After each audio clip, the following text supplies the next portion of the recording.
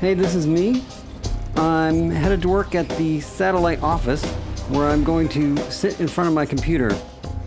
Sort of like I do most days. I actually spend a lot of time sitting, but I never really thought too much about it. Then I started reading just how bad long term sitting was for our health. Yeah, it leads to things like obesity, diabetes, heart disease, and decreased lifespan. That's right, the more you sit, the sooner you die. By the way, that's real whiskey, not just a prop. At first, I didn't think the negative effects of sitting applied to me. After all, I'm pretty active. Well, maybe a little hyperactive.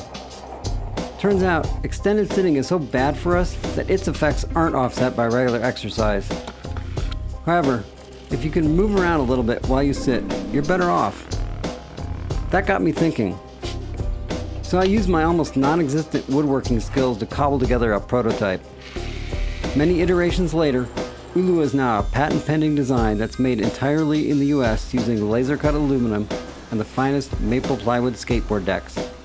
It's almost like I know what I'm doing. But don't be fooled. Here I'm actually talking to the laser operator about his homebrew system. To use ooloo, just rock. This simple motion fools your body into thinking it's doing something other than suffering through another conference call. ooloo looks as good as it works. With graphics from some awesome artists, this might be the only piece of ergonomic furniture you could hang on your wall. Whoever thought sitting could be so dangerous? ooloo offers a solution.